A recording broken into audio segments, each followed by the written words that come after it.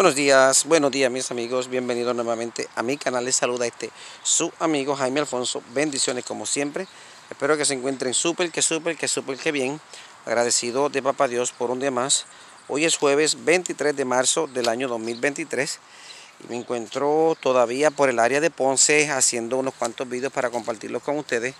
En este momento me encuentro en el, en el cementerio de las Mercedes aquí en la ciudad de Ponce, Puerto Rico y estoy aquí porque quiero compartir con ustedes lo que es visitar el lugar de descanso de quien en vida, don, en quien en vida fue, debo decir, perdón, don Luis Alberto Ferre Aguayo, eh, quien fue gobernador de Puerto Rico, trabajó en el Senado, fue una persona de gran importancia en el ámbito político y empresario en Puerto Rico.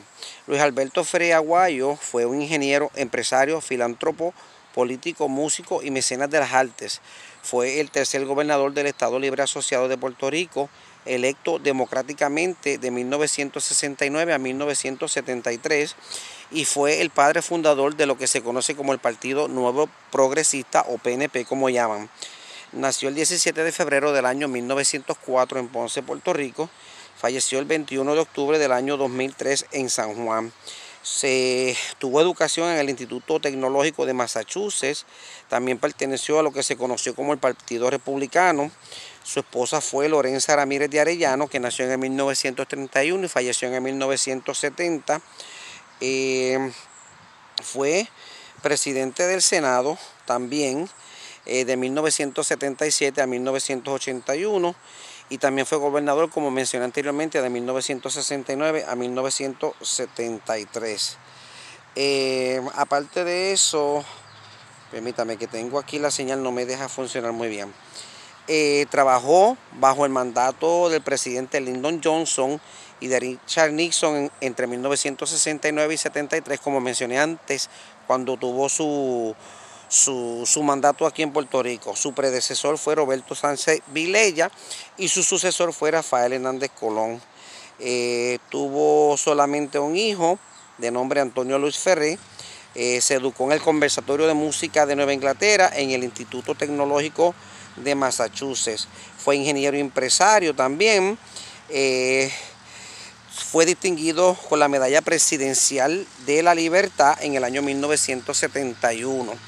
Estoy tratando de buscar aquí una sombrita y me disculpan si interrumpo el vídeo, es que verdaderamente está haciendo un sol y un calor terrible. Eh, su juventud, este, como mencioné antes, obtuvo un bachillerato en el 1924, seguido por su maestría en el año 1925. Luego de eso, cursó estudios en música en el New England Conservatory Music. Durante esos años, Ferrer desarrolló su admiración por el modo de vida estadounidense. Él siempre enfatizó y luchó hasta su muerte para que Puerto Rico se convirtiera en un estado. Ese sueño no lo logró. Como mencioné antes, pues murió en el año 2003 y fue sepultado aquí en el cementerio de las Mercedes en la ciudad de Ponce, Puerto Rico. Así que en este momento pues le voy a mostrar el lugar exacto donde descansa el fenecido ex gobernador de Puerto Rico, don Luis Aferre.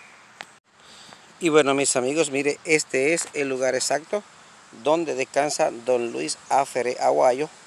Nació el 17 de febrero de 1904, falleció el 21 de octubre del 2003. Esta es su tumba aquí en el cementerio Las Mercedes en Ponce, Puerto Rico.